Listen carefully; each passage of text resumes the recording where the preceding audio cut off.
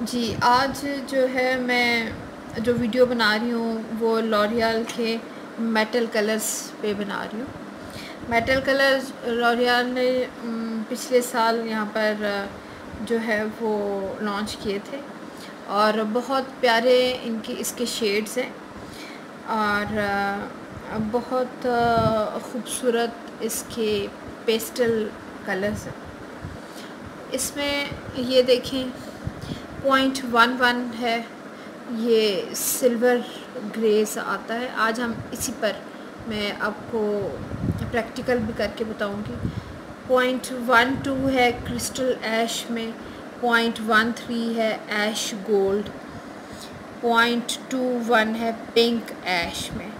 और point two two है high lilac colour में। ये भी बहुत खूबसूरत कलर है।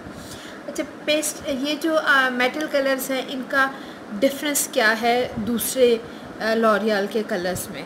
इनका बेसिक जो डिफरेंस है वो ये है कि जो आ, बाकी कलर्स होते हैं जो क्लासिक शेड्स हैं मार्चल के या जो भी दूसरी कंपनीज़ हैं वो भी जो कलर्स बनाती हैं उसमें क्या होता है कि आधी ट्यूब में बेस होती है और आधा ट्यूब के बराबर जो है ना उसमें रिफ्लेक्ट्स होते हैं यानी कि कलर्स होते हैं।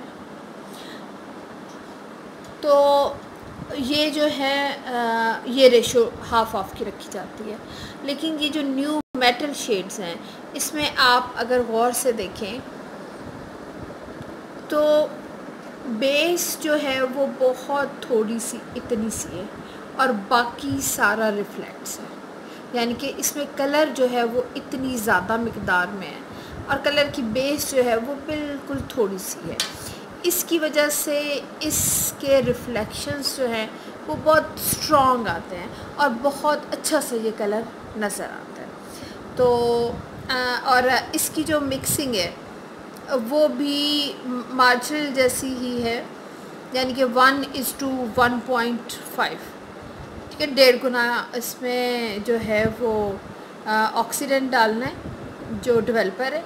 और वही वाला डेवलपर डालना है जो कि नेचुरल का डेवलपर है। और इसमें लेकिन ये है कि पहले हमें लाइटनिंग करनी पड़ती है ब्लीच के साथ। और जो प्री लाइटेंड होते हैं बाल, उनके ऊपर फिर इसको हम थोड़ी देर के लिए लगाते हैं। कितनी देर के लिए लगाते हैं, ये हमारी मर्ज़ी होती है। अगर हमें लाइट पेस्टल इफ़ेक्ट चाहिए हो तो हम कम देर लगाते हैं। अगर हमें स्ट्रॉन्ग डार्क सा उसमें ज़्यादा डेप्थ चाहिए हो तो हम ज़्यादा देर लगाते हैं। तो आज हम जो वो आपको वीडियो में बना के दिखाऊँगी, वो प्रैक्टिकल जो होगा, वो point one one silver grey में होगा। मैं सिक्स से सेवन लेवल के दरमियान उस, इस कलर को लाने की कोशिश करूँगी ताकि अच्छा सा जो है गन, ग्रे कलर जो होता है ना, वो वाला और ये जब हमने मेटल कलर्स की की लॉन्चिंग में पार्टिसिपेशन का ये सर्टिफिकेट मुझे मिला था तो ये जो है, ये आप देख रहे होंगे कि मार्शल मेटल कलर्स वर्कशॉप 2018 2018 में जो है 26 जनवरी 2018 को इस्लामाबाद में हुई थी। तो उसमें मैंने पार्टिसिपेट किया था और ये मेरा सर्टिफिकेट है। अब मैं आपको, बालों को ये चेक करना बताती हूँ कि आपको कैसे पता चलेगा कि ये बाल मोटा है, बारीक है या मीडियम उसमें है। सबसे पहले हम एक बाल जो है वो पकड़ेंगे, ठीक है? एक बाल सिर्फ़। और उस बाल का हम ये चेक करेंगे कि क्या वो बारीक बाल है या मीडियम है या के मोटा बाल है। उस एक बाल को हम अपनी दोनों उंगलियों के दरमियान इस तरह रख के और इस तरह करेंगे, ठीक है? अगर तो आपको फील नहीं हो रहा कि कोई बाल आपकी उंगलियों में से गुज़र रहा है तो इसका मतलब है कि वो बहुत फ़ाइन बाल है, बहुत बारीक बाल है, ठीक है? तो आपको पता चल जाएगा कि जी ये फ़ाइन बाल है। अब अगर आपको फ़ील हुआ है कि जी ये आपके हाथों में से गुज़र रही है, एक तार टाइप का बाल आपके हाथों में से, आपकी उंगलियों में से गुज़र रहा है तो इसका मतलब ये है कि वो फ़ाइन बाल नहीं है। वो या तो मीडियम बाल है, और या फिर ज़्यादा मोटा बाल है। उसके लिए फिर हमें अब दूसरा टेस्ट करना पड़ेगा। कि ये देखें कि ये मीडियम है, ये ज़्यादा मोटा है। उसके लिए फिर आप क्या करेंगी कि ये आपने बाल पकड़ा और इसको आप यूँ घुमाएँगी अपनी दो उंगलियों के दरमियान। ठीक है?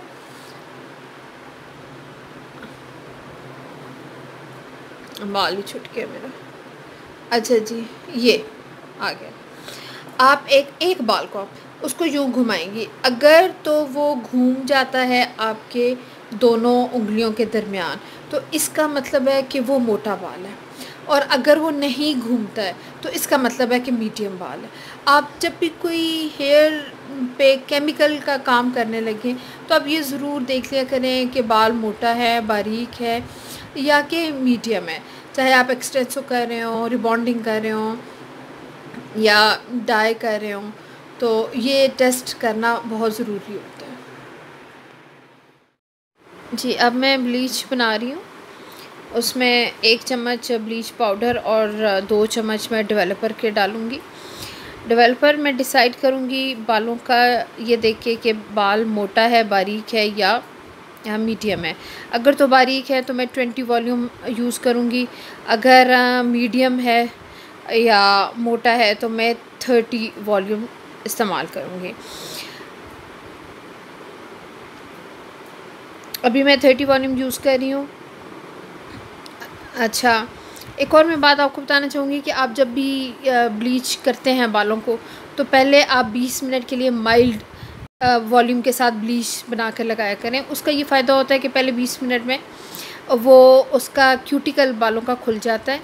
उसके बाद फिर आप उससे ज़्यादा स्ट्रॉन्ग वॉल्यूम से ब्लीच दोबारा बना के तो वो लगाया करें और आधा एक घंटा वो आप लगाएँगी तो उससे फिर बहुत अच्छा सा आपका ब्लीच हो जाएगा, बिल्कुल। ऑरेंज पिगमेंट इंशाल्लाह निकल जाएगा।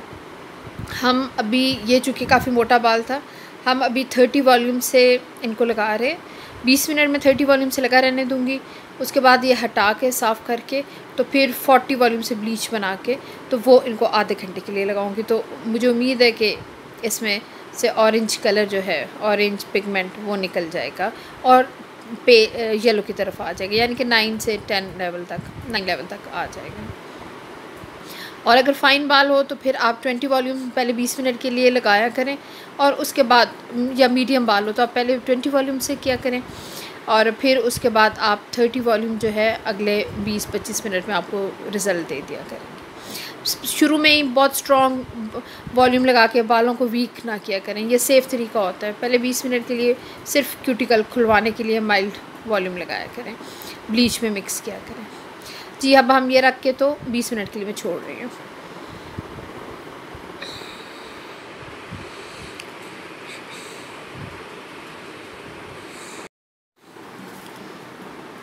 ये हम दस एक मिनट के बाद चेक कर रहे हैं कि अब क्या हालात हैं। तकरीबन सिक्स लेवल तक डी कलर हो गया है दस मिनट हम आप इसको और छोड़ेंगे। तो जब 20 मिनट पूरे हो जाएँगे तो फिर ये इसको उतार देंगे। इस ब्लीच को उतार के दूसरा 40 वॉल्यूम से मिक्स करके लगाएँगे। जी, अब 20 मिनट हो गए हैं।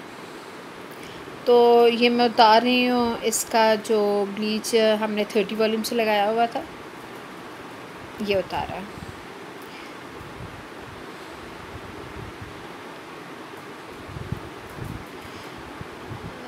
सेवन लेवल के, तकरीबन सेवन एट लेवल के आगे हुए। पानी डालेंगे तो सेवन के हो जाएँगे, पानी के बगैर देखेंगे तो एट के लगेंगे। और अब जो है हमने फोर्टी वॉल्यूम से ब्लीच बना के रखा हुआ है। अब इसके ऊपर हम वो लगाने लगे हैं।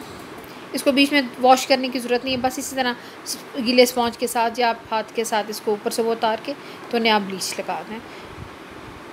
ये अच्छी तरह से लगा रही हूँ, फिर मैं आधे घंटे के लिए छोड़ दूँगी इसको रैप करके।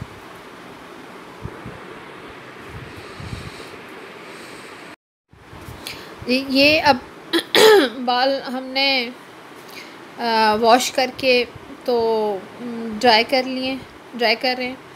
ड्राई करने के बाद आप ड्राई बालों में भी ये मेटल कलर यूज़ कर सकती हैं और वेट गीले बालों में भी कर सकती हैं।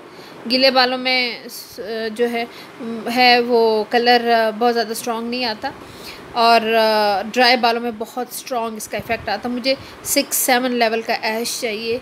ज़्यादा सा ग्रे डार्क ग्रे जैसा होता है ना उस तरह का। आ, कलर चाहिए इसलिए मैं ड्राई करके कर रही हूँ। ये मेटल कलर है पॉइंट वन वन यानी कि ऐश में।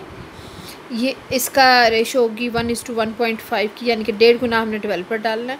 पाँच एम एल मैंने कलर लिए और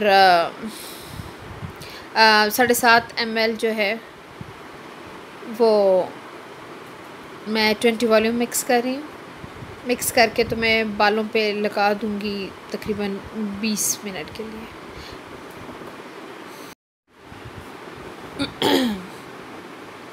जी, वो कलर बन गया हुआ है तो अब हम बालों में लगा रहे हैं। अगर तो हमें कम ग्रे चाहिए तो हम दस मिनट के बाद, पाँच मिनट के बाद हम उसको देखते रहेंगे। उसके मुताबिक, जो है वो लाइट ऐश चाहिए तो फिर वो आ, हमें यानी कि एट लेवल का ऐश चाहिए तो फिर हम उसको जल्दी वॉश करा देंगे। और अगर आपको सिक्स लेवल का या डार्क ग्रे जैसे गन ग्रे टाइप का होता है ना ग्रेफाइट सा तो वो कलर चाहिए तो आपको ज़्यादा बीस मिनट आपको रखना पड़ेगा। मैं बीस मिनट रखूँगी मुझे सिक्स लेवल का डार्क सा ग्रे चाहिए।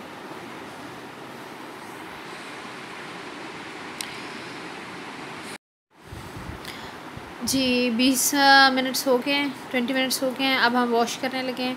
अच्छा सा वॉश करेंगे इसको मास्क लगाएँगे फिर गीले बालों में सीरम लगाएँगे फिर इसको ड्राई करके आयरन करके तो आपको दिखाते हैं।